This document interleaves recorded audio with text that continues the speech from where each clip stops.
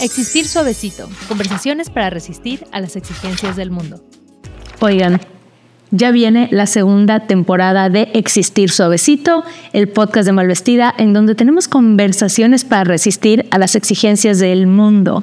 Y estoy súper, súper emocionada porque en esta nueva temporada seguimos conversando, riendo y teniendo, pues, revelaciones muy intensas con una serie de invitadas, invitados, invitadas que son increíbles. Entonces estoy muy feliz de que ya muy prontito vamos a poder acompañarles mientras lavan los platos, mientras se transportan de un lado al otro o donde sea o en el momento que ustedes prefieran escuchar este podcast. Recuerden que lo van a poder conseguir en todas las plataformas y el video a través de YouTube. Entonces, ya viene amistades, ya se está cocinando, ya estamos terminando los últimos detalles de la segunda temporada de Existir Suavecito.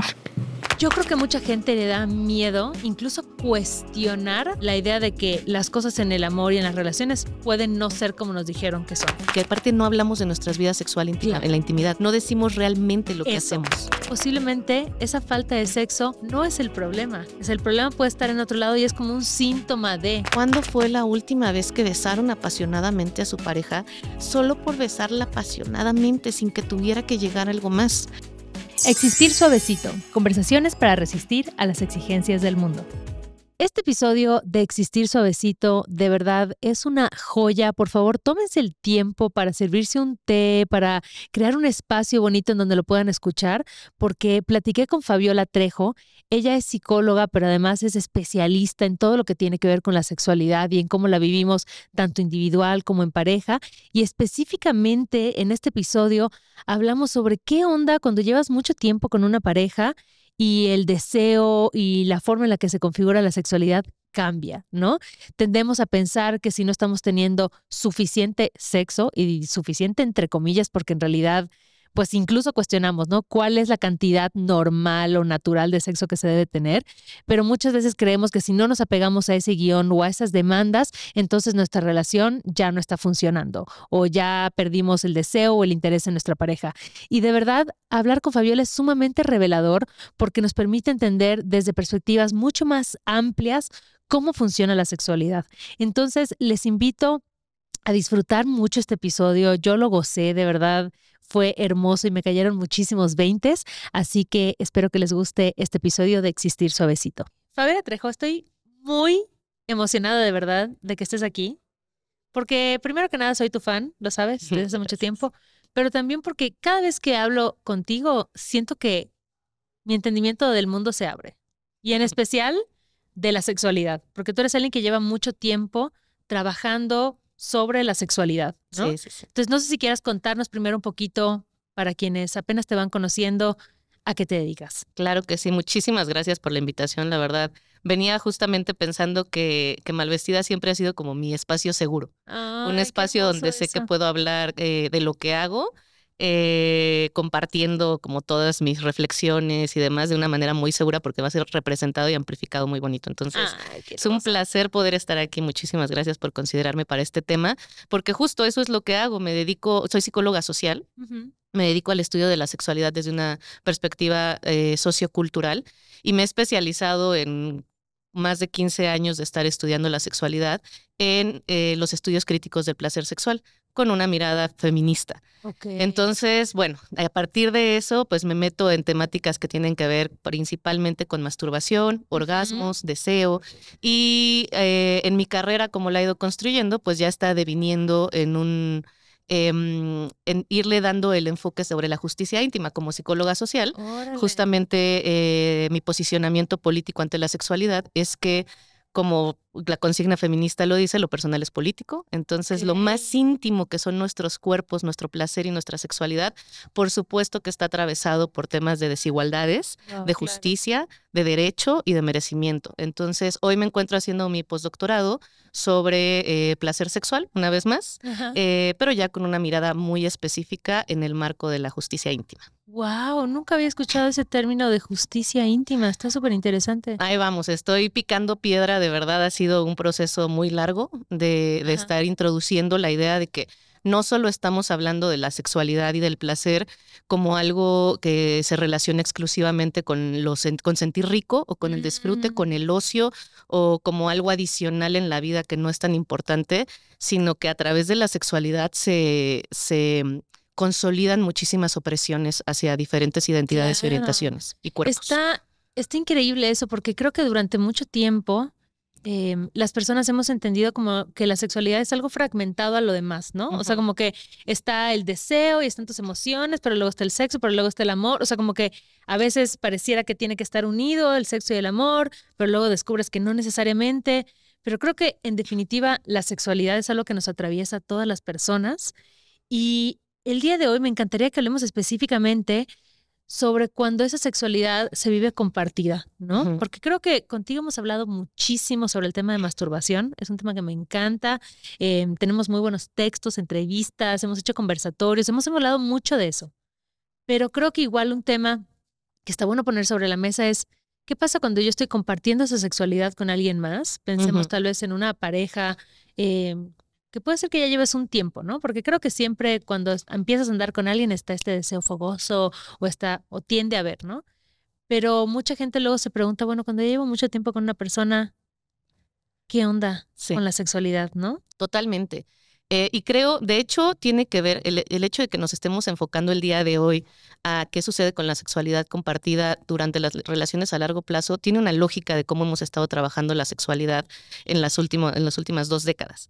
Hoy en día está, eh, volvió a despegar el tema del deseo y particularmente el deseo en las relaciones de largo plazo y particularmente en las relaciones heterosexuales, eh, justo porque venimos hablando mucho tiempo de la masturbación, venimos hablando de los orgasmos, venimos em, particularmente mi trabajo ha sido hacer mucha conciencia y mucho trabajo en lo, político de apropiarnos de nuestro cuerpo y nuestra sexualidad. hasta antes de eso estábamos trabajando la sexualidad con modelos ya bastante antiguos, que les hacía falta, que ya se habían actualizado, pero no estaban llegando al discurso popular. Entonces seguíamos con modelos muy antiguos eh, donde más que nada el sexo se trataba de la reproducción en la pareja, ya acotándolo a este, a este tema de la pareja a largo plazo, se trataba de reproducción y se trataba incluso de un trámite. Claro. Se tiene sexo como trámite por no decir que no. Y muy falocentrista y muy el sexo es penetración, no, todas esas ideas con las que crecimos, ¿no? Totalmente así. Cuando pensamos en sexo, en relaciones a largo plazo y que baja el deseo, que ya no tienen tanta frecuencia de encuentros sexuales, pues luego luego pensamos en dos cuerpos desnudos, una erección, una vagina, ni siquiera una vulva, una vagina y eso terminamos de entender como sexo con todo este empuje que hemos estado haciendo en torno a la masturbación, los orgasmos, la apropiación del placer, entonces empieza a haber una conciencia de decir, entonces, ¿cómo estoy construyendo mi sexualidad en pareja? ¿Cómo, estoy, ¿Cómo la estoy compartiendo? Esta es la forma en que la estoy viviendo, esta es la forma en que me estoy apropiando de ella, pero ahora la quiero compartir. ¿Cómo traduzco lo que acabo de descubrir? ¿Cómo traduzco lo que estoy viviendo conmigo misma al encuentro sexual? porque es más difícil y justamente porque hay otro elemento que es otra persona con otros deseos, otras necesidades, otra historia, otro trabajo y no es suerte que entonces hoy las más grandes preguntas o las más comunes que están eh, surgiendo alrededor de la sexualidad es cómo puedo relacionarme de mejor manera sexualmente con mi pareja. Porque ¿qué es lo que pasa? Usualmente cuando estamos en relaciones a largo plazo, y a largo plazo podemos estar diciendo desde seis meses, un año hasta más, no tienes que tener 40 años con la misma pareja, sino que estamos hablando de relaciones comprometidas, eh, relaciones formalizadas, em, que tienen mucha convivencia y que comparten proyectos en común proyectos de vida, proyectos laborales, proyectos de cualquier tipo, criar a, niñes es, una, es un proyecto también. Entonces, en esta configuración de relaciones, como que todo el discurso que traemos de autonomía sexual resulta complejo integrarlo. Totalmente. Totalmente. Yo creo que, a ver, es que igual, así como teníamos muchas ideas preconcebidas sobre lo que era la sexualidad o el, el, orgasmo, la masturbación, creo que cuando hablamos de sexualidad en parejas, también todavía hay muchas ideas muy arraigadas, ¿no? Creo que una que yo he escuchado mucho, que yo he llegado a sentir también, es esta idea de que, a ver, si de pronto ya no siento deseo por mi pareja, o mi pareja no siente deseo por mí, o ya no estamos teniendo sexo, híjole, o sea, alerta porque algo está pasando en la relación y te empiezas a cuestionar, o sea, ¿será que ya no lo amo? Ya no me gusta, ya no tenemos química, ¿qué está pasando? Y creo que eso le pasa a un montón de gente. Totalmente. Y tiene relación con eh, cómo hemos construido la idea del amor romántico. Uy, sí. Porque pensamos que justamente en el tema del amor romántico, amor y deseo van de la mano. Si yo amo a alguien, le tengo que desear. Y si alguien me ama, me tiene que desear. Y cuando tú amas a alguien, le deseas más. Incluso está esta premisa histórico-sociocultural muy impregnada en nuestra cultura que nos dice que el sexo con amor es mejor. Claro. Que el sexo con amor se disfruta más. Tu primera vez tiene que ser con quien ames y de preferencia casada, no todas esas ideas antiquísimas. Y no es lo mismo porque si tienes un encuentro sexual, pues no lo vas a disfrutar tanto, pero cuando amas a la persona, van a tener la mejor eh, eh, actividad sexual, van a probar muchas cosas, va a haber confianza, como si la confianza fuera algo que automáticamente se enciende cuando te enamoras de alguien porque la confianza no funciona así, la confianza se tiene que construir, no la tenemos que regalar, pero en este sentido, como necesitamos un espacio seguro para podernos soltar sexualmente, em, nos hacen creer que la confianza viene automáticamente con el amor y que yo debería de sentir ya muchas cosas en automático sexualmente, cuando en realidad son dos dimensiones separadas, muy interrelacionadas, sí, pero separadas. Es decir, amor, deseo, amor, placer, amor, excitación, amor, orgasmo, son procesos que son, se interrelacionan, se tejen en la vida cotidiana, pero que se van desarrollando de manera independiente. Y esto tiene que ver con cómo se desarrollan en el cuerpo y en nuestro cerebro, y por otro lado, cómo los desarrollamos socialmente. Entonces, por supuesto que puede existir el caso de una persona que se sienta más en confianza teniendo sexo con alguien que ya conoce o con quien tiene mucho tiempo, pero también pueden existir personas que no necesitan esa, ese nivel de cercanía y ese nivel de compromiso. En el estudio y la investigación sobre sexualidad le llamamos orientación sociosexual. Hay gente que necesita más cercanía, hay gente que necesita menos cercanía para poder desear, para poder disfrutar, para poder excitarse. ¿Qué pasa cuando tenemos relaciones de pareja em, que las entendemos como a largo plazo? Incluso por lo regular son no monógamas, pero incluso no monógamas. Sí. Em, porque una vez más, las configuraciones de modelos relacionales tampoco son igual al amor. Totalmente. Que tengas más parejas no quiere decir que quieras menos a tu pareja. Que solo tengas una pareja, que seas monógama, no quiere decir que ames más a tu pareja que alguien que tiene muchas otras parejas. Tenemos que entender que son dimensiones diferentes también para poder ir observando dónde es que necesito trabajar dónde es que me importa a mí en este momento, qué área de toda esta complejidad de la sexualidad es la que quiero trabajar. Porque a veces se pierde el deseo sexual en las relaciones a largo plazo y pensamos, como tú lo dices, que esto representa toda nuestra relación, que esto habla de toda nuestra relación, que hay algo malo en mí o hay algo malo en mi pareja, o hay algo malo en la forma en que nos relacionamos, porque no nos relacionamos como deberíamos relacionarnos sexualmente. Ese hoy en día es el malestar más grande de la sexualidad. Que lo que creemos que debería de ser no se parece en lo, a lo que realmente vivimos. Y en lugar de cuestionar el deber ser, nos cuestionamos a nosotras y cuestionamos a nuestras relaciones. está muy fuerte esto. A ver, a ver, a ver, a ver. Tengo que desmenuzar porque estás tirando mucha sabiduría. O sea, lo primero es, yo creo que mucha gente le da miedo incluso cuestionar la idea de que las cosas en el amor y en las relaciones pueden no ser como nos dijeron que son. Esta idea que tú dices de que, oye, pues es que tú puedes amar a alguien, al mismo tiempo sentir deseo por otra persona, y eso no quiere decir que esté mal. O sea, y lo que tú dices, vamos a dejar de tratar de hacerlo tan individual y empezar a ponerlo como en un sistema como estructural para entender cómo se configura el deseo, cómo se configura el amor. Y algo que me encantó que dices, que las personas lo viven de forma distinta. Tal vez para mí es súper importante tener un vínculo afectivo con una persona para poder tener sexo con ella. Y tal vez a otra persona le excita muchísimo que no tenga ningún vínculo sexoafectivo con una persona para tener, ¿sabes? Como que entender que no hay una única regla de cómo se configura y cómo nos aproximamos al placer y al deseo, creo que eso es súper importante. Y luego también lo que dices, empecemos a cuestionar por qué nos enseñaron que a fuerzas tiene que ser todo este guion de jalón, ¿no? En el sentido de que tu pareja tiene que cumplir todas tus necesidades, muy del amor romántico, ¿no? Tus necesidades sexuales, afectivas, intelectuales, emocionales y tal, ¿no?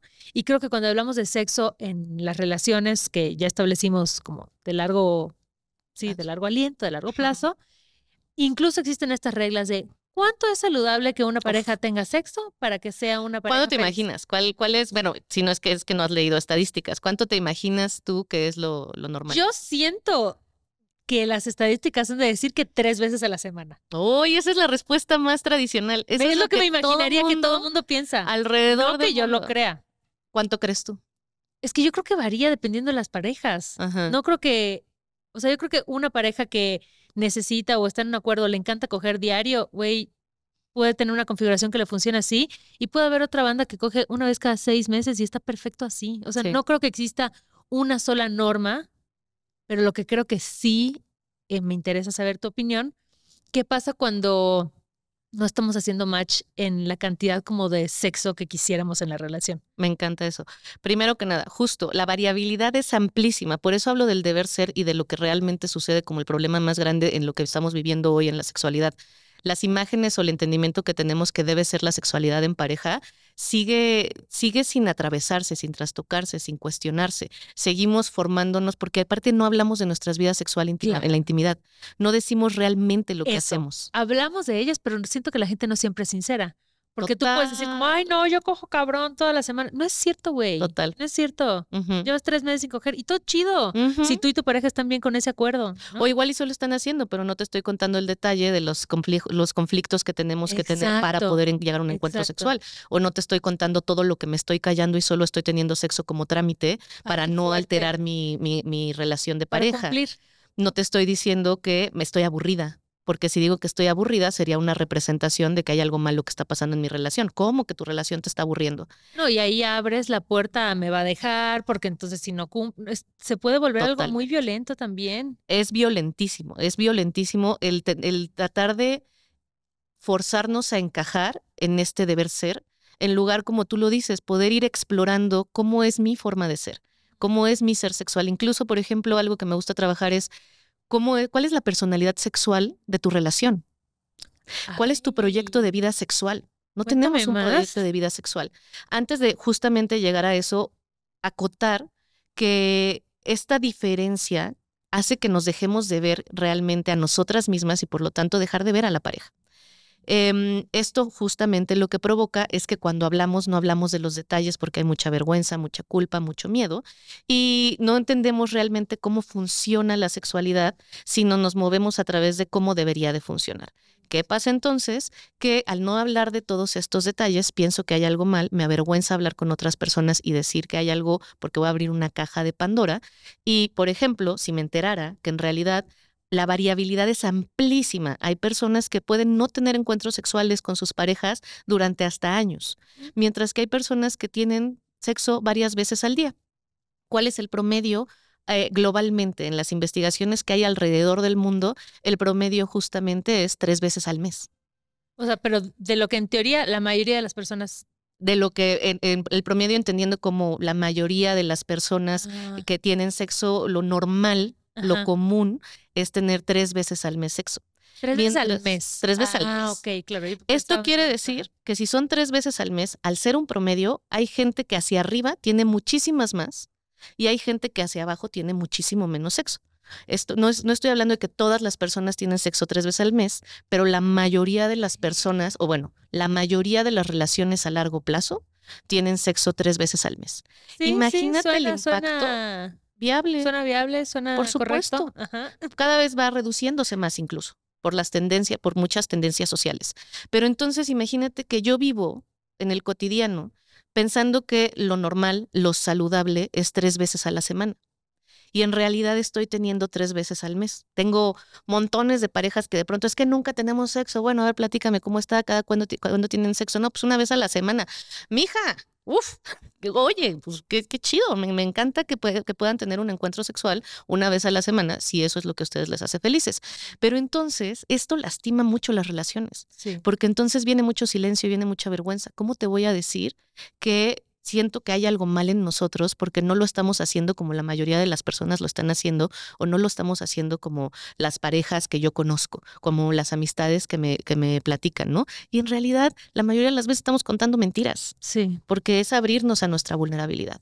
Entonces, justo algo que pasa en las relaciones a largo plazo que es muy importante, entendemos ya más o menos cuál es la norma o lo común estadísticamente ah, globalmente de la frecuencia sexual. Por ejemplo, del deseo. ¿Qué pasa en las relaciones a largo plazo? En lugar de, tenemos, traemos esta premisa de si amas mucho y, así, y si tu relación está súper bien, uff, el sexo no va a tener ningún problema, que es lo que realmente pasa. Por lo regular, cuando una, una relación se compromete o se formaliza, el deseo sexual cae en picada aproximadamente al año o al año y medio. Particularmente o más aún cuando se está cohabitando. Eso es lo normal, pero vivimos con la idea de qué está mal en mí si antes de mudarnos juntos cogíamos un buen. Pero desde que vivimos juntos ya no se me antoja para nada. Pero te amo. Esta es una de las principales eh, preocupaciones de las parejas, pero nos amamos mucho, pero nos queremos mucho y tenemos todo un proyecto de vida juntos, solo que en el sexo nada más no. Y esto justamente es algo de lo que habla Esther Perel en la paradoja de la seguridad y de la libertad en tanto nos unimos más a la pareja, nos fusionamos más a la pareja, nos sentimos más seguras con el otro, el erotismo o el deseo empiezan a reducirse. Porque necesitamos desear, cuando, cuando deseamos, deseamos algo que no tengo. Y si todo el tiempo te tengo a ti, si tú y yo somos uno solo, si estamos fusionados, compenetrados y eres la mi persona, entonces por supuesto que el amor se va a exponenciar pero después nos vamos a dar cuenta que no van a dar tantas ganas de tener no solo un encuentro sexual penetrativo, sino de tener comportamientos sexuales en nuestra vida cotidiana o de construir una vida sexual, una relación sexual. Cuando hablamos de relación sexual, no estamos hablando de coger únicamente. Totalmente. ¿Cómo es la relación sexual en pareja? ¿Cómo es tu relación sexual? No solo cómo coges, sino cómo, se, cómo hablan, cómo se tocan, cómo piensan, cómo hablan de sexualidad en su vida cotidiana. Me encanta eso. ¿Sabes qué? Siento que eso es súper revelador. O sea, me están cayendo muchos veintes porque digo, claro, puede ser que de pronto se habla, yo ya sí voy a balconear toda mi relación. Habla de una amiga de una amiga. Una amiga una amiga, una amiga No, pero sí es verdad que a veces, por ejemplo, si digamos que tienes sexo pues tres veces al mes, dos veces al mes, como que eso no significa que no haya intimidad o que no haya sexualidad alrededor de la pareja, porque de pronto un agarrón de nalga, un cachondeo, un decirte algo, no, como que sigue siendo parte de cómo se está construyendo la sexualidad en la pareja. Sí, ¿no? es parte. Es y yo nunca lo había visto así, o sea, porque luego tienes a pensar que no, la sexualidad es solo cuando están en el acto sexual, ¿no? Penetrativo, desnudos. O pon tú no penetrativo porque ya trabajaste un poquito más tu, tu ratón ahí de, de, la deconstrucción, pero aún así lo sigues encasillando en el momento en el que los dos están en el espacio para estar en un acto sexual, ¿no? Cuando cuántas cosas alrededor de eso también son parte de ese vínculo y de esa sexualidad y de ese erotismo en pareja y de ese deseo y tiene mucho que ver con la convivencia del día a día, o sea, de cómo, lo que dices, cómo te tocas, eh, cómo se aproximan. Cómo te hablas, cómo te miras, cómo, cómo te interesas en la otra persona, cómo te sientes vista o visto por la otra persona, cómo deseas a la otra persona que no es solamente esta parte de calentura, sino es esta parte de quiero saber más de ti, quiero escuchar más de ti, quiero sentir más de ti, hay algo en ti que me atrae y que quiero estar cerca de eso, pero si todo el tiempo estamos juntos y si mi mundo eres tú y tu mundo soy yo, entonces es muy difícil poder tomar distancia y perspectiva y acordarte del todo, no solo que es tu relación, sino que es la otra persona. Entonces es bien importante porque ahora, otro dato, eh, y quiero acotar aquí, ¿no? Tiendo a hablar más de las relaciones heterosexuales, pero esto aplica a todo tipo de configuración. Mm. ¿Por qué hablo de las relaciones mixtas? Porque es donde más encontramos estas problemáticas. Es donde, y particularmente, porque me enfoco en las mujeres? Porque son las que tienen los más altos índices de todas estas problemáticas asociadas con el deseo, con la apropiación del cuerpo, con el sexo. Esto no quiere decir que para los hombres no aplique, por ejemplo, o para cualquier otra identidad u orientación tengo muchos pacientes hombres, algunos que son, eh, son gays, otros que son heterosexuales, y también muchas veces estamos trabajando al revés, ¿no? Yo soy el que no tengo deseo. Y este es un dato bien importante. Por lo regular, eh, es más común que quien tenga alto deseo sean las mujeres que los hombres. Cuando, por ejemplo, me han invitado a, facilitar algunos grupos donde solamente participan hombres, cuando hablamos sobre nuestros cuerpos, nuestros orgasmos, nuestra, bueno, ellos hablan sobre sus sexualidades, eh, algo que comparten mucho de sus principales preocupaciones, independientemente de la orientación sexual o de la identidad, eh, comparten que sus mayores problemáticas son de deseo. Tengo deseo bajo y no sé cómo decírselo a mi pareja, porque esto es un golpe tremendo a la masculinidad. Claro, socialmente todo el mundo piensa que es al revés, ¿no? Y, e incluso eh, en la ciencia. Y esto tiene que ver con problemas metodológicos de cómo se está abordando el deseo, cómo lo estamos entendiendo. Porque aquí viene un dato muy interesante del deseo. Eh, bueno, además de que por lo regular eh, hay diferentes casos. Las mujeres son las que tienen más alto deseo que los hombres. Por supuesto, estas configuraciones varían mucho en las parejas. También el deseo de las mujeres es más dinámico. Por eso es muy común eh, puede sonar contraintuitivo, pero es muy complejo este desarrollo. Es muy común que en las relaciones a largo plazo las mujeres pierdan el interés más rápido en su pareja. Eso no quiere decir que no tengan deseo hacia alguien más. el deseo se diversifica hacia otros lugares. Por eso es que a veces pensamos que las mujeres no tienen mucho deseo, porque el deseo no se ve como nos dijeron que se tenía que ver. Entonces, como mi deseo no se ve que me quiero coger apasionadamente a mi pareja y atascar y, y coger como un animal pasional, entonces, pues no, entonces ya no tengo deseo, cuando en realidad yo lo que trabajo muchas veces es que tu deseo no se vea como se tiene que ver, no quiere decir que no existe.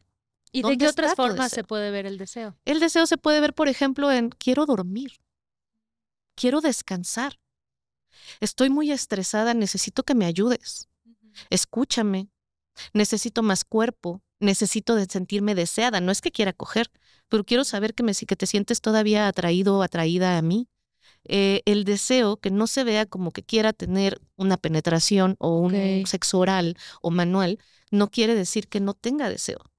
El deseo muchas veces quiere ser, quiero pasar más tiempo contigo, quiero saber, quiero que te importe qué estoy diciendo yo, porque yo me acerco, te pregunto muchas cosas y tú no me preguntas nada de mí solo porque, porque todo eso también es sexual y va un poco con lo que tú estabas diciendo al ir descubriendo que no es solo el encuentro en la desnudez, en el contacto genital, sino es absolutamente todo lo que hacemos en nuestras vidas.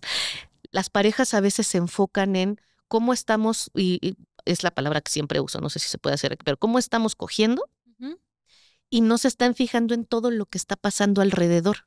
Y todo eso que está pasando alrededor es sexual. Solo que como tenemos una imagen muy esencialista y muy reduccionista, pensamos en sexual y a veces me dicen, ay, no, como un pastel de chocolate no es sexual para mí porque no es como que me dan orgasmos. Y claro, cuando nos vamos directamente a que lo sexual son orgasmos, son fluidos, son erecciones, son desnudeces, son, pues claro que 99% de nuestra vida no va a entrar ahí porque eso es un espacio muy pequeño. Y es algo que trabajo mucho con las personas el hecho de, primero que nada, cómo me reconozco como un ser sexual.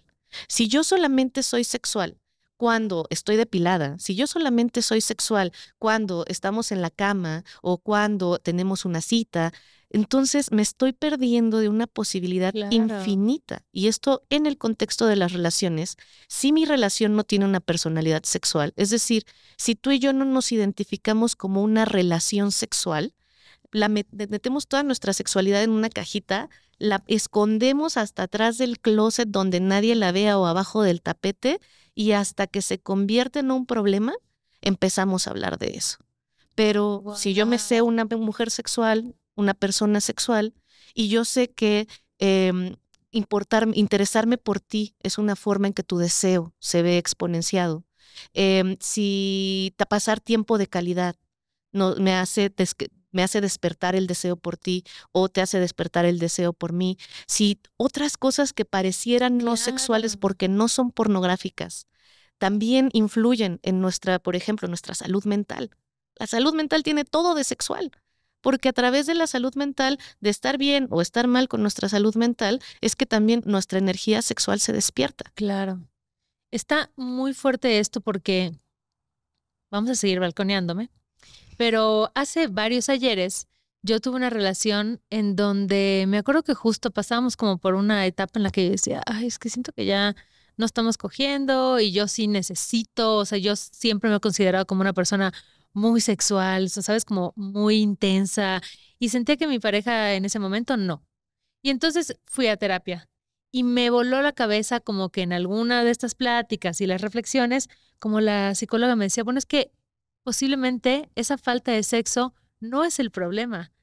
Es el problema puede estar en otro lado y es como un síntoma de, ¿no? O sea, tal vez hay una desconexión en otro lado, o tal vez como tú dices, esta sexualidad entendida como algo mucho más amplio no está sucediendo y si no sucede en ese contexto más general, va a ser muy difícil que suceda ya en un acto como más carnal y más íntimo. Total. Y hasta ahorita que estás diciendo esto, como que estoy conectándolo y entendiendo como, claro, qué importante tener esa capacidad de ampliar nuestro concepto de lo que es la sexualidad en pareja, porque eso nos va a evitar como mucha frustración, o sea, empezar a tener más claridad y lo que tú dices, empezar a identificar, pues antes de que ya sea el último recurso de que ya no estamos cogiendo, entonces ya todo mal y terminamos. Sí, justo, es que es eso, y eso a veces lo que hace es que refuerza el consumo de cuerpos. Eh, refuerza justamente prácticas de violencia como la infidelidad o la ruptura de acuerdos, mm. donde, em, pues como ya no siento deseo, pues me tengo que ir a otro lado porque ya no se trata de ti. Y, o ya no me traes, o ya me aburrí en la relación, o tenemos muchos problemas porque no podemos hablar esto, y ese es uno de los miedos más grandes, justamente como decías, de analizar o evaluar nuestra vida sexual, porque entonces quizá va a ser un darnos cuenta que no queremos lo mismo. Y no es problema no querer lo mismo. De hecho, eso es lo enriquecedor de una relación. Cuando hablabas sobre la disparidad, ¿qué pasa cuando no estamos como tan bien coordinados con lo que queremos o como estamos deseando? Pues es que no deberíamos de estarlo, porque somos personas diferentes. También tiene que mucho que ver con el amor romántico, esta idea de somos el uno para el otro, deseamos lo mismo, disfrutamos lo mismo al mismo tiempo, en, todo, en, los mismos momentos, y eso es muy dañino porque borra nuestra identidad borra nuestra autonomía y borra el reconocimiento de que el otro es un otro y que también tiene derecho a sentir y a necesitar cosas diferentes. Esto justamente que dices de ampliar eh, la perspectiva o entender que somos sexuales en absolutamente todo lo que hacemos, incluso cuando palabras sexuales no estén saliendo de nuestra boca, caminar por la calle, eh, pues, estar riendo con nuestras familias, trabajar, todo eso tiene un impacto en cómo vivimos nuestra sexualidad. Y esto justamente tiene, em, yo invito mucho a las personas a preguntarse, ¿para qué tienes sexo? ¿Para qué de manera individual, a lo históricamente en tu vida, pero también eh, para qué se tiene sexo en la pareja? ¿Qué hace el sexo en nuestra relación? Quizá para algunas personas el sexo es una forma de consolidar la relación, de reafirmar, sí, somos una relación firme, somos una relación que está bien. Em, por otro lado, para algunas personas puede consolidar, todavía me desea, todavía soy una persona atractiva, todavía soy una persona valiosa, no te voy a perder, no me vas a abandonar. Quizá para otras personas puede significar em, un desconecte. Es el espacio donde nos olvidamos de todos los deber ser y simplemente somos cuerpo y es una forma en la donde yo me siento en confianza para olvidarme de todo y tú te sientes en confianza para olvidarte de todo. Quizá es una forma de conocernos, quizá es la forma en que aprendimos a conectarnos. ¿Para qué tienes sexo? Porque no todas las veces tenemos sexo por las mismas razones y por lo regular cuando estamos pidiendo sexo en una más sexo o más deseo en una relación, muchas veces lo que estamos pidiendo son abrazos, son ser vista, son tiempo de calidad, eh, admiración, eh, desestrés, estamos pidiendo muchas otras cosas. Y ahí es cuando no necesariamente que sea la sexualidad un síntoma, sino que nos damos cuenta que estamos, que el sexo nos está avisando, no como un síntoma, porque al manejarlo como síntoma estamos entendiéndolo como problema, sino que es donde no podemos poner máscaras y nos está avisando realmente qué es lo que necesitamos o qué es lo que deseamos. ¿Dónde son las áreas de la pareja que se tiene que trabajar? ¿Dónde son las áreas individuales en las que tengo que trabajar? Es decir, si, si me cuesta trabajo hablar con mi pareja de sexualidad, no necesariamente quiere decir que haya un problema en otro lado de la relación. A veces solo es no poder hablar de sexualidad y nos enfocamos únicamente en desarrollar habilidades y hábitos que faciliten la comunicación en el tema sexual. Para otras parejas, si de pronto exploramos y nos damos cuenta que fíjate que no es solo que no pueda hablar de sexo con mi pareja, no puedo hablar de nada. Tema que le ponga, tema que se convierte en algo personal, en un drama, en por qué ya no me quieres o por qué haces esto, desde la familia, el trabajo y demás. Entonces, no es un tema para nada sexual. Hay que trabajar la comunicación. Y eso, al la comunicación no fluir en nuestra vida cotidiana, va a impactar el sexo de manera lógica y de manera automática. Entonces, lo que pasa con la sexualidad en la pareja y, este es por eso hago el énfasis de no siempre es un síntoma, es que cuando hay una dificultad, la gente piensa que hay algo mal en su relación. Y a veces solamente tiene que ver con habilidades, a veces solamente tiene que ver con un proceso depresivo o ansioso, a veces solamente tiene que ver con muchos cambios que están sucediendo en la relación o que, o que están sucediendo en mi cuerpo. Entonces, no siempre, y por eso lo digo porque para no tener miedo, Claro. ¿De qué está mal? Si, si yo destapo, si le busco a lo sexual, voy a abrir una caja de Pandora en nuestra relación que no quiero. A veces la relación puede estar maravillosa y en el ámbito sexual, por nuestra historia, por nuestro contexto, por nuestra dinámica, nomás no nos entendemos. Y a veces el sexo nos va a avisar y va a ser síntoma de otras problemáticas en la relación. ¿Tiene sentido? Tiene sentido, tiene mucho sentido. Creo que es muy fuerte porque como te decía, mucha gente no va a querer abrir esa puerta por el miedo a, darte cuenta de que quizá ya esa relación no son tan compatibles o hay algo que una persona quiere trabajar y otra no, ¿no? Y yo creo que por eso mucha gente de pronto pues tiene este temor, ¿no? De decir, oye, sí, pues vamos a terapia, ¿no?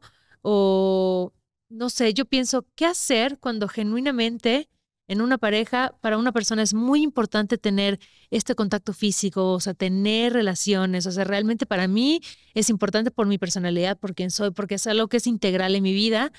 Y pues tal vez mi pareja está atravesando un episodio donde no siente deseo o simplemente ya no lo está sintiendo por mí. O sea, ¿cómo podemos llegar a un acuerdo? ¿No? ¿Se puede? O de plano, habrá momentos en los que pues no, ¿no? Y eso ya se vuelve como un motivo de ruptura. O sea, ¿cuándo saber eso? O sea, ¿cómo llegar a un acuerdo? ¿Cómo poder trabajar cuando están estas dos posturas que parecieran no ser compatibles? Primero que nada, es importante que conozcamos cómo funciona el deseo. La información es poder. Entonces, si conocemos realmente cómo funciona el deseo, cómo funciona nuestro cuerpo, podemos también entender que mucho de lo que está sucediendo en mi relación no tiene que ver con cuánto nos amamos o no, sino tiene que ver con cómo estoy viviendo mi vida. Oye, este, en este sentido, y voy a ir como dividiendo un poquito las cosas que se pueden hacer, en este sentido tenemos que entender que em, apenas, tiene muy poco, digamos, de que empezó la pandemia, que especialistas en sexualidad, por lo menos en México y Latinoamérica, empezaron a, adoptar este discurso del que veníamos hablando desde hace muchísimo tiempo, que cuando hablamos de deseo, necesitamos hablar de las de los matices del deseo y de las diferentes configuraciones del deseo. Lo hemos entendido mucho desde algo que es natural, que es una fuerza evolutiva únicamente que nos va a impulsar a la reproducción y entonces entendemos al deseo como algo espontáneo. Entendemos que el deseo un día, ¡pum!, te llega y te calientas y se te antoja tremendamente esa persona.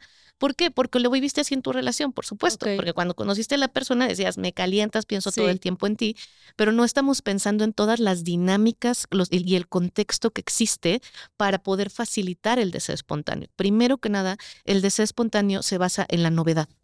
El deseo espontáneo requiere novedad, requiere espontaneidad, requiere algo, requiere ser impredecible y requiere un poco de riesgo, no la certidumbre. Y entonces esa novedad me atrae y es como un, ay, quiero acercarme a eso. Y quiero tocar tanta gente es infiel, ¿no?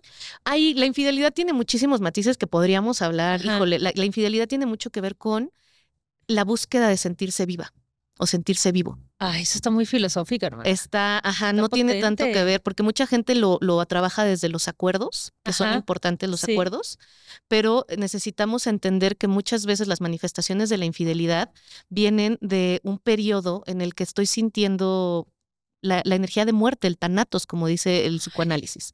Y esto quiere decir... lo que estás diciendo. Y esto se nota en las relaciones a largo plazo. ¿Por qué? Porque no solo deja tú los, los temas eh, de salud mental, depresiones y demás, pero nos la pasamos trabajando, nos la pasamos estresadas, nos la pasamos em, agobiadas con las rentas, con los pagos, con las familias, con los planes, con sobrevivir. Y en pareja nos enfocamos tanto en eso, dejamos de reinventarnos, dejamos de crecer, qué es lo que sigue en mi vida. Y entonces necesito algo que me llene de vida otra vez que me haga sentir viva otra vez. Y muchas veces alguien nuevo o algo nuevo nos atrae como, es que ya no siento esto por ti, pero sí lo siento por ella o por él. y en realidad no necesariamente es la persona, en realidad es que es alguien nuevo. ¿Qué pasa cuando estamos en una relación a largo plazo? La novedad se acaba. Entra la rutina, entra la monotonía, que no está mal. Es súper saludable, porque también eso es lo que hace una relación estable. Y eso es para lo que nos emparejamos de manera formal y a largo plazo, para tener certidumbre y tener seguridad. Pero dejo de interesarme por alimentar la novedad. También es cierto que el deseo espontáneo, por ejemplo, tiene un factor muy fuerte eh, que tiene que ver con lo fisiológico, con lo biológico. Nuestras hormonas y particularmente la testosterona está relacionada con eso. Entonces, hay etapas en la vida en que vas a tener más, que vas a tener menos, pero no va a ser determinante. Pero eso es lo que determina el deseo sexual espontáneo y las recompensas que recibimos al respecto. Cuando nos acabamos de conocer, eres nuevo. Entonces, todo esto me, genera curiosidad y que tú me pongas atención me hace explotar la dopamina y se siente muy bien. Y lo que resulta es que yo también soy nueva para ti. Entonces a ti también te explota la dopamina, entonces a ti también te explota la testosterona, entonces también estamos haciendo puras cosas nuevas y ahora dónde vamos a ir y a dónde vamos a pasar, ahora dónde te invito.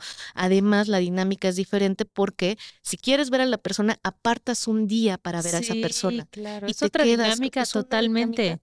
Y creo que es muy difícil creer que vamos a replicar en una circunstancia totalmente distinta lo mismo que estábamos sintiendo, pensando, ¿no? Totalmente. Son configuraciones muy diferentes. Y eso va a tener que ver con cómo trabajar el deseo a largo plazo. Porque entonces toda esta novedad y toda esta dinámica diferente, que es diferente a cuando nos emparejamos a largo plazo o, o cohabitamos, es lo que mantiene el deseo espontáneo activo. Pero el deseo más común y más necesario que tenemos que entender es el deseo responsivo. El deseo responsivo es un deseo que requiere de un estímulo para despertar. No te llega de la nada. Yo siempre lo doy como ejemplo, soy la persona más de abrir Instagram en la mañana, alguien subió una pizza, hoy estoy pensando todo el día en pizza. Y yo no me acosté pensando en pizza, yo no me desperté pensando en pizza, pero vi una pizza y se me antojó una pizza. Entonces, el deseo suele ser así. Si tú preguntas, un estímulo tiene que, haber detona ese deseo. Y muchas veces ese primer estímulo es la excitación. A veces pensamos porque los modelos que se utilizan usualmente son muy, muy antiguos y se hablaba de que primero era el deseo, luego era la, luego era la, excitación, luego era la meseta y luego era el orgasmo. Las cosas no son así. Tiene particularidades que se realizó todo esto en un laboratorio, muchas cosas buenas, pero otras cosas que ya no son actuales, ¿no? Entonces, ¿qué nos dicen las nuevas investigaciones? El deseo no siempre es lo que está primero. A veces nos esperamos a tener ganas, a que nos lleguen las ganas de la nada y entonces puedo hacer una puedo tomar iniciativa o puedo buscar un encuentro sexual contigo. En las relaciones a largo plazo ahí les encargo, ¿eh? Espérense. Mm. Porque si te estás esperando a tener deseo para acercarte a tu pareja o para hacer cualquier tipo de contacto físico sexual, va a ser muy difícil que suceda, porque el deseo espontáneo dura poco tiempo para las relaciones en general y particularmente para las mujeres. Pero específicamente en las relaciones a largo plazo, el deseo responsivo es un deseo que se tiene que estar alimentando constantemente, que se tiene que estar estimulando constantemente.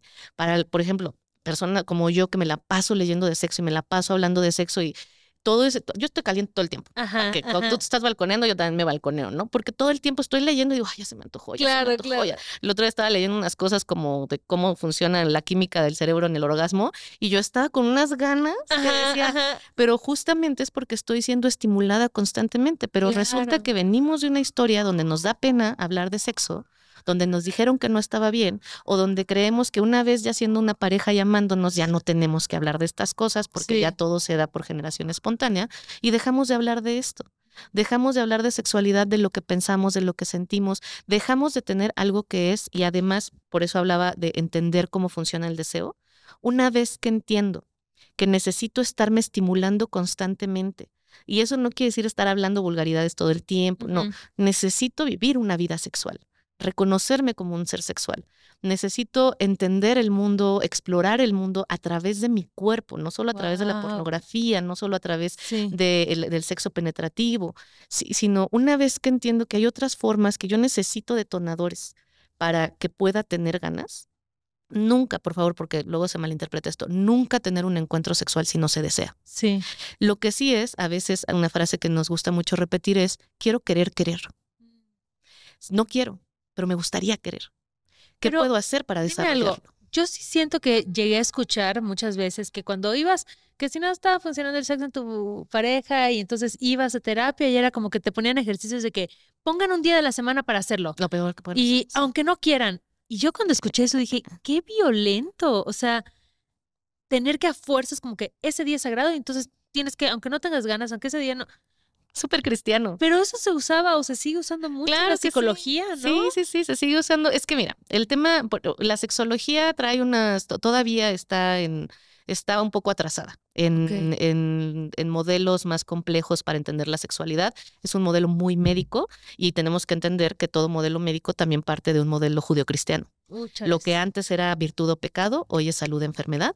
Hoy estás bien o estás mal, es correcto o incorrecto. Y lo que antes significaba la iglesia como un poder, hoy la medicina, la psicología dentro de, la medicina como una, una disciplina de salud, eh, también tiene estas prácticas que borran muchísimas cosas que se vale, pues vamos avanzando y se está haciendo el esfuerzo, ¿no? Pero justo algunas de las aproximaciones, por eso digo que es muy cristiano eso, porque es como de, pues tienes que tener hijos y ni modo, se acuestan y lo hacen aunque no tengan ganas, ¿no? No estoy hablando de eso cuando hablo del, del, deseo responsivo, nunca sin deseo, pero si lo que tengo ganas es de desear, necesito estimular mi vida, necesito estimular claro, mi Claro, es que es integral. Hay que entender que es algo integral, no está aislado. Todo el tiempo está presente. Entonces, ya que entiendo eso, puedo también entender que hay muchas cosas que hago en mi vida cotidiana y en mi relación que están que mantienen la energía sexual encendida, que la mantienen moviéndose. Necesito movilizar esta energía sexual con, con intercambio de comportamientos sexuales. ¿Cómo se puede ver eso? Esto, por ejemplo, es todo aquello que hagas, todo aquello contacto físico, verbal, emocional, que hagas solo con alguien que es tu pareja, pero que no harías con alguien que es tu familia. Porque podemos ser muy abrazadoras con la familia, con las amigas, con todo el mundo, y pues eres muy abrazadora. Pero no cuchareas necesariamente con tu mamá. Ándale, el cuchareo. Eh, el mensajito, la cerradita de ojo que no tiene que ver porque esto también es un problema bien importante, es muy común en las, en las relaciones de, mixtas, hombres, mujeres, que los hombres tiendan a estarte agarrando la chichi, la nalga y llegan a yo soy totalmente al revés, la verdad. Yo soy la manos largas de mi relación. Ándale, alguien como que siempre estamos, pero eso no necesariamente es un es, es, un intercambio de comportamiento sexual. Eso tiene que ver más con el chiste, con la broma. Entonces tendemos, cuando algo así falta en nuestra relación, tendemos a, caricaturizarlo mucho. Mm. Y entonces que te agarre la chichi no quiere decir que quiera coger contigo. y de pronto se puede generar frustración cuando yo quiero tener sexo y me agarras la chichi y te vas. Y de pronto es como de, pero no íbamos a tener, o sí vamos a tener, o Claro. Ese es un contacto muy particular que hay que entender que se da en las relaciones de pareja, porque puede haber mucho contacto físico en la relación de pareja, pero está más destinado al cariño y está más destinado al cuidado. Que también puedes tener, por ejemplo, que le haces piojito a tu hermana, por ejemplo, que cuchareas con el perro, todas esas cosas sí, pero esas cosas que no harías con alguien que no fuera tu pareja. Ok. un tipo de agarrada de mano que no harías, un tipo de contacto físico, un tipo de conversación, cosas que no harías con alguien que no fuera tu pareja, todo eso son comportamientos sexuales de la vida cotidiana que dejamos de hacer. El más importante, ¿cuál se te ocurre que sea el más importante que dejamos de hacer cuando estamos en una relación a largo plazo, que solo hacemos con las parejas? O sea, algo que dejen de hacer la gente, besarse. Besarse. ¿No? Hijo. Eso es un, y es uno de los principales. Más estos besos así largos. De lengua, apasionados. Ay, sí, que es muy bonito y qué padre que estén alimentando esa parte de la relación. Pero dejamos de besarnos. Y cuando nos besamos, se convierte en el preludio a un encuentro sexual penetrativo. Cuando digo penetrativo es la desnudez y los genitales. Sí, sí, sí, sí, sí. Y entonces ya entiendo que te voy a dejar de besar, porque ahorita estoy muy cansada y no quiero coger Y si te empieza a besar, te van a dar ganas y sabes que mejor no. ¿Cuándo fue la última vez que besaron apasionadamente a su pareja solo por besarla apasionadamente sin que tuviera que llegar algo más? Por ejemplo, meterte a bañar. Ajá. Tomar un baño con alguien, que es incomodísimo coger en la regadera, a menos que tengas miles de privilegios y sea una gran regadera, ¿no? Pero es incomodísimo coger en la regadera, pero meterse a bañar juntos. No lo harías con tus amigas, no lo harías con pareja, con, con familia, em, en ciertas configuraciones. Entonces, ¿qué tanto dejamos de tener este tipo de actividades que nos recuerdan que somos una pareja sexual, que tenemos una relación sexual? Este intercambio de comportamientos sexuales lo perdemos en la cotidianidad, porque una de las problemáticas cuando la gente dice no tengo, no tenemos mucho sexo, que hablan de frecuencia, y hay que entender esto. La frecuencia no es un factor que prediga o mida eh, la satisfacción o el placer. Calidad sobre cantidad. Siempre. 100%. Sí. sí. Puedes tener un cogidón al año. Sí, pero es el señor cogidón. Ah, tener tres a la semana de trámite porque no vayan a decir que tenemos problemas como pareja. Sí. Entonces, entendiendo esto también vamos desarrollando em, o pues vamos poniendo atención a ampliar y a trabajar en los comportamientos sexuales que intercambio con mi pareja, porque la mayoría de las personas que te dicen es que no tenemos tanto sexo, eh, de pronto empiezas a indagar y es que uno, casi no pasan tiempo juntos. Mm. Y el tiempo juntos que pasan hablan de trabajo, hablan de temas de la casa, hablan de temas de los hijos, hablan de la familia. Y no están pasando tiempo juntos. Cuando están pasando tiempo juntos, están scrolleando en el celular. O viendo una serie. Estás viendo una serie. Y es normalmente la estás viendo para desconectarte, no para conectar. Sí. Eh, que es bien diferente cuando Netflix and chill. Ajá. yo, es, Ese es, por ejemplo, Netflix and Chill es un comportamiento de intercambio, un intercambio de comportamiento sexual, porque si ya me invitaste a ver una película, yo ya sé en qué va a terminar esto, que si no termina en esto no hay Todo problema. bien. Ajá. Pero si termina en esto, va. Mientras que ya en una relación a largo plazo, esto es una actividad más de la relación. Sí. Salimos a cenar, nos atascamos de comida y entonces ya con el mal del puerco, ya con el azúcar a tope y queriéndote ir a dormir con tu coma de, comida, em, ya lo único que quieres es tirarte a la cama y apapacharte y no coger, porque además coger implica un esfuerzo y traigo la panza llena y luego va a sonar y luego me va a querer echar un pedo, ¿cómo crees que voy a estar haciendo esas cosas? Entonces, ¿qué hago con la pareja? ¿Cómo? Hablo de todos los pendientes de la vida o me desconecto. el mayor tiempo que pasan las parejas a largo plazo juntas es durmiendo y muchas veces desde que empezó el trabajo en casa, trabajan juntos. Pero ninguno de ese tiempo está dedicado ni a la pareja, ni a ti como persona, y mucho menos a nuestra sexualidad. Entonces, el tiempo es fundamental. ¿Qué pasa? Es que, sobre todo, por ejemplo, la gente que va a terapia, es que no tuve tiempo de agendar la cita. De ahí empezamos. Aquí no estamos hablando de si de placer, orgasmos, deseo, estamos hablando que tu vida no está sexualizada. Que no hay un espacio de vacío en tu vida para llenarlo con sexo o para llenarlo con comportamientos sexuales, para llenarlo de actividades primero que nada para besarnos más, para tocarnos más, no de una forma em, de cuidado, sino en una forma de deseo, de atracción, de pasión. Entonces, estos intercambios, yo lo que sugiero muchas veces es, primero que nada, empiecen a besar. Algo que suele suceder es que la pareja, es así como, espérate, ¿Por qué? Porque no vas a querer coger y yo no quiero. Para esto a veces se necesitan algunas conversaciones antes. Claro. Pero algo que, suelo sugerir o que suelo pedir es justo empezar a tener este tipo de acercamientos con la pareja, ampliar el repertorio de intercambio de comportamientos sexuales.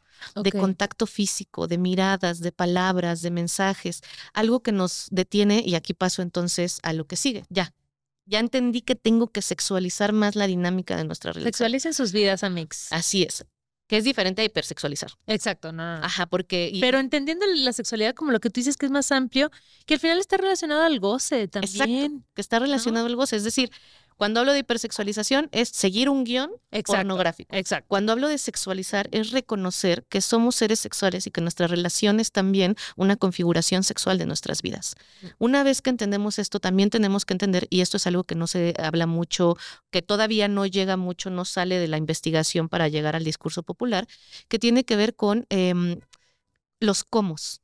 Después de, de, que reduce, reduce un poco la interacción sexual en la pareja, nos oxidamos y luego ya no sé cómo es raro regresar y se siente como forzado. Eso. Y se siente como que, Ay, es que es la tarea que nos dejó la psicóloga. Exacto. Y me pongo ropa sexy porque también me dijeron que si me ponía ropa sexy, ponemos velas y tenemos una date night. No. Algo que estamos hablando poco, pero es muy necesario, es en el poder y la necesidad de negociación. Porque estas miradas tradicionales de la sexualidad y el amor lo que nos dicen es que todo va a ser espontáneo, que se va a dar, que va a fluir y que no se requiere un esfuerzo. Y que además si nos amamos tanto vamos a querer lo mismo al mismo tiempo. Y la realidad es que como somos dos personas diferentes y además de ser dos personas diferentes, reconocer que somos dos personas diferentes dispara el deseo. Es muy bueno. Pero además necesitamos entender que se vale que tú no quieras al mismo tiempo que yo quiero. Y eso no habla mal de nuestra relación. Se vale que tú quieras algo diferente a lo que yo quiero. Y el ejemplo que suelo poner es ir a comer. Cuando tu pareja no quiere comer contigo, no entras en crisis y no dices que está mal. Nosotros al principio comíamos juntos siempre y cocinábamos y algo ha cambiado. Pues sí, algo cambió. Simplemente a veces quiero comer sola y a veces quiere comer acompañada. Cuando vamos a comer con nuestra pareja, no entramos en crisis porque no pidió lo que pedimos. A veces es un yo no quiero comer, pero te acompaño. A veces es un yo no quiero, yo sí quiero comer, pero voy a comer algo diferente o voy a comer en otro momento. Y tenemos muy buena habilidad para negociar cuándo comer o no con la pareja, si queremos ver una película o no queremos ver una película, pero no se diga en lo sexual. Si quieres algo milimétricamente diferente a lo que yo quiero, hay algo mal en nosotros. Entonces, la pauta que se, está, em, eh, eh, que se está empujando en la investigación es justamente desarrollar las habilidades de negociación. Y para desarrollar las habilidades de negociación necesitamos reconocer que tenemos que aprender a comunicarnos. ¿Cómo me comunico contigo? Y aquí viene una de las problemáticas más grandes. Por lo regular, una de las, de las personas de la pareja no quiere, no tiene la disposición de trabajar. Mm. Con toda esta idea tradicional, además, tenemos el entendido de que tiene que darse solo y tiene que fluir si nos amamos.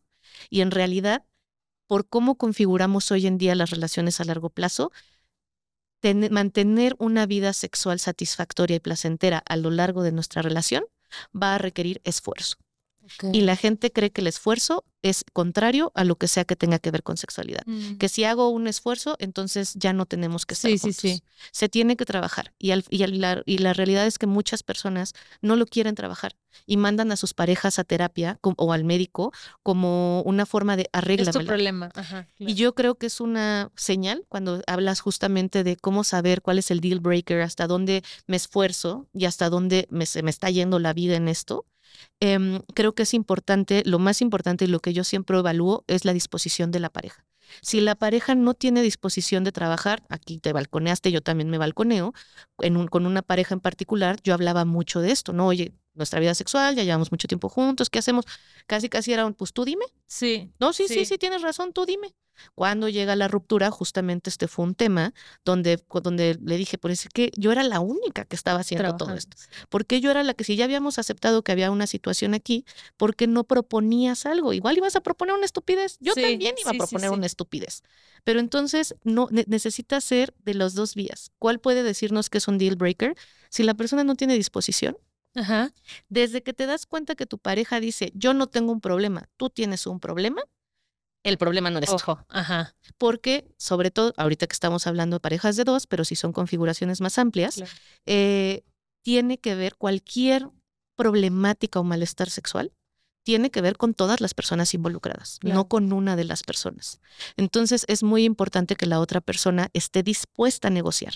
No solo es negociar, sino la disposición. Pero ahí, fíjate, creo que totalmente de acuerdo. Pero del otro lado, luego lo que pasa es que es gente que está dispuesta a negociar cosas con las que realmente no está de acuerdo, ¿no? Cuando esto yo lo he visto mucho que pasa, cuando alguien decide abrir su relación por las razones incorrectas, o sea, porque una persona dice, ay, es que yo necesito como coger, entonces tú no quieres coger, entonces, ¿qué opinas si abrimos la relación para que yo te siga amando, pero yo pueda coger, ¿no?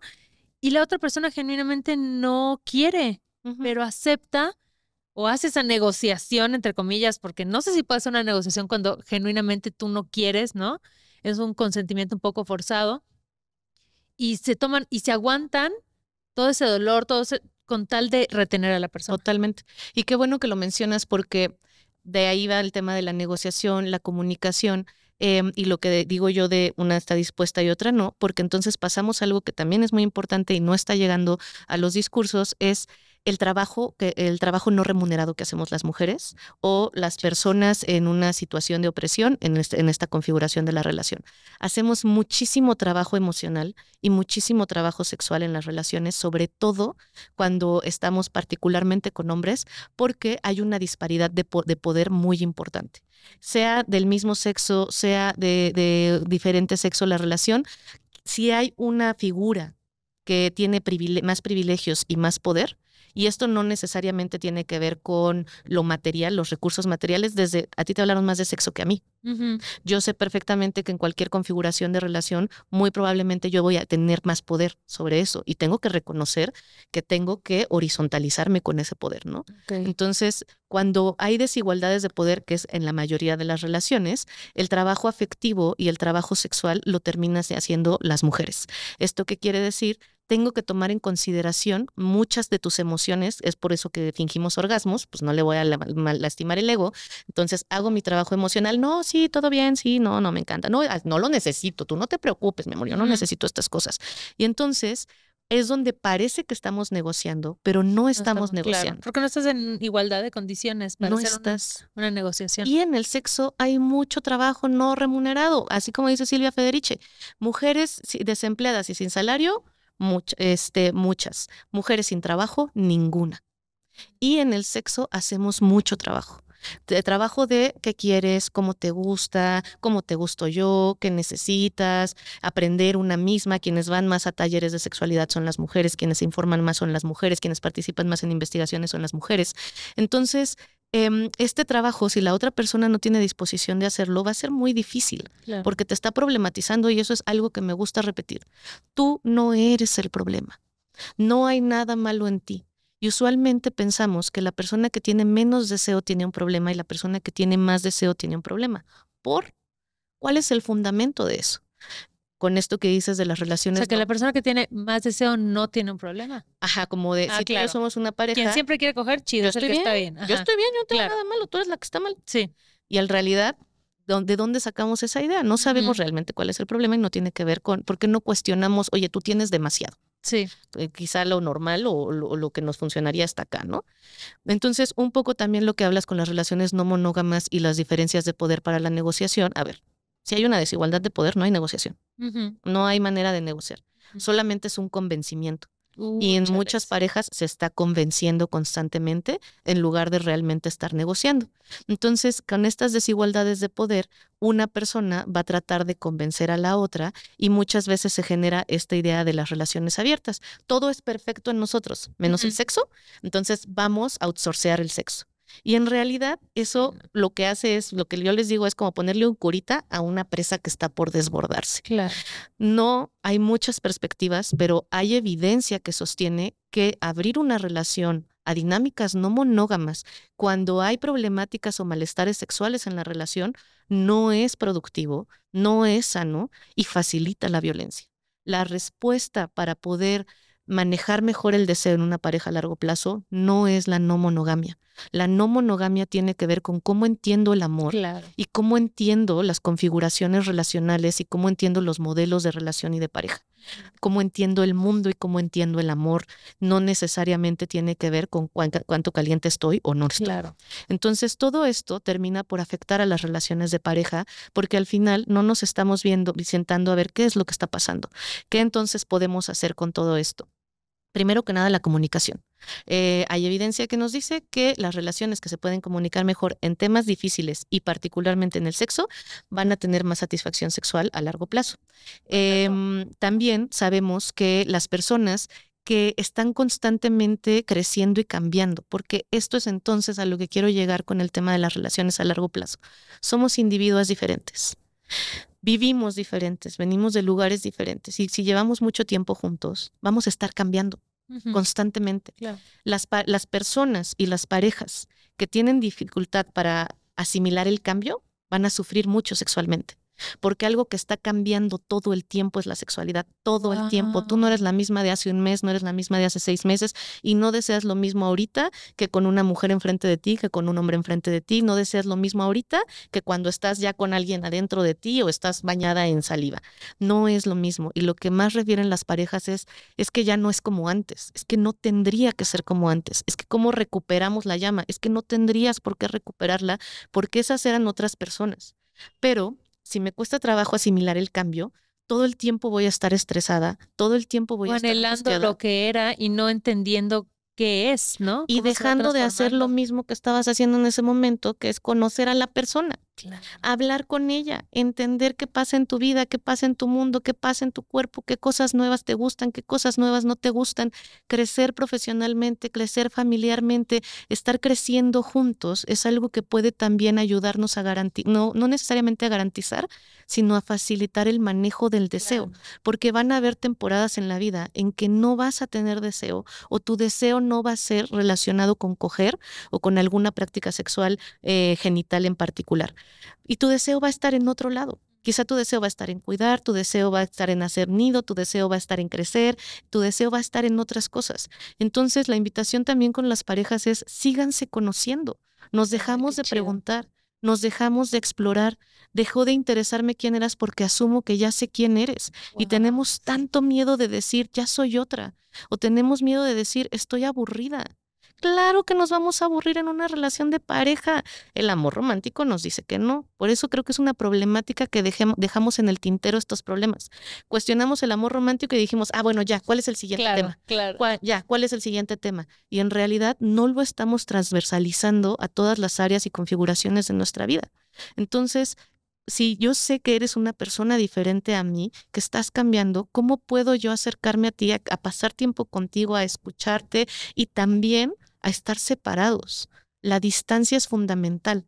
Si tu pareja se convierte en toda tu vida, si no tienes a mí, si la primera persona a la que recurres es a tu pareja para el desahogo emocional, si la primera persona que recurres para la diversión es a tu pareja, si la primera persona o la única persona a la que recurres para tu mundo social o profesional es tu pareja, le estás cargando demasiado a una relación y la estás metiendo en una cajita que no le toca.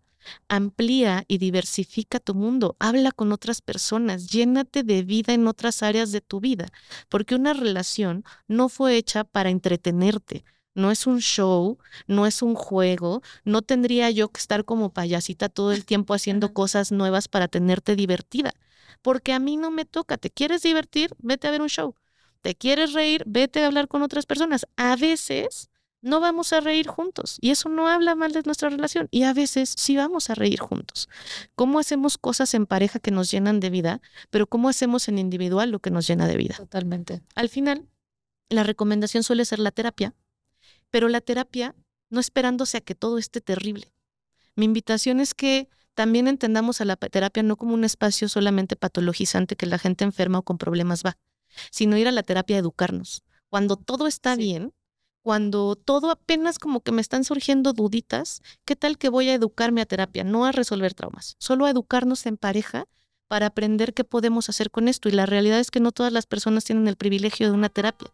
Entonces no necesitas todo, no necesita él, ella, la pareja, todo el mundo estar yendo a terapia. Sí nos dice eso que hay disposición de trabajar y de cambiar, pero también hay muchas otras cosas que podemos hacer. Distancia, entender cómo funciona nuestro cuerpo, aumentar el intercambio de comportamientos sexuales y vivir una vida más enriquecedora que nos permita seguir creciendo y que nos permita seguir cambiando.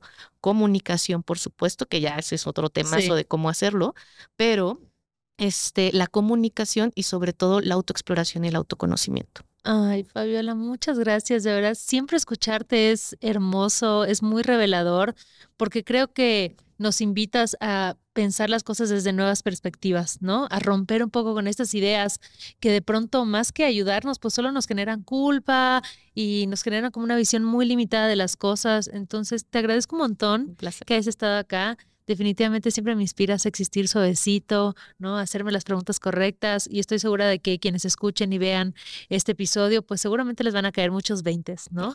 Y eso es muy hermoso, o sea, saber que toda la vida vamos a seguir cuestionando y descubriendo cosas y entendiendo cómo se configuran nuestros afectos con las amigas, con la pareja, con el mundo en el que vivimos. Entonces, te agradezco mucho, mucho. Un placer. Todo lo que nos contaste el día de hoy. Siempre para lo que necesiten aquí. Gracias. Gracias. En Malvestida hicimos un libro y por supuesto que se llama Existir Suavecito. Amistades, no saben la emoción y todo lo que representa este proyecto para nosotras y sobre todo poderlo compartir con ustedes. Existir Suavecito es un libro repleto de ilustraciones, de frases potentes, de entrevistas, de reflexiones que tienen que ver con cosas muy elementales que todas las personas atravesamos, entre ellas nuestra identidad, cómo se va conformando, con qué historias crecemos sobre nosotras mismas y cómo las vamos transformando. Hablamos también sobre el éxito, el síndrome del impostor, a qué nos enseñaron aspirar y qué es lo que realmente nos genera emoción. Y por supuesto también hablamos mucho del cuerpo, de nuestra imagen, de lo que quizás nos hicieron creer que eran defectos y cómo cada persona va cambiando la manera en la que puede percibirse y cómo se nombra. Entonces, es un libro de verdad repleto de cosas muy preciosas. Esperamos que lo disfruten un montón, tanto como el equipo tan talentoso que lo hizo haciéndolo y pues ya lo pueden encontrar en su librería de confianza o también lo pueden comprar en línea. Se llama Existir Suavecito y es una antiguía para vivir en tus propios términos.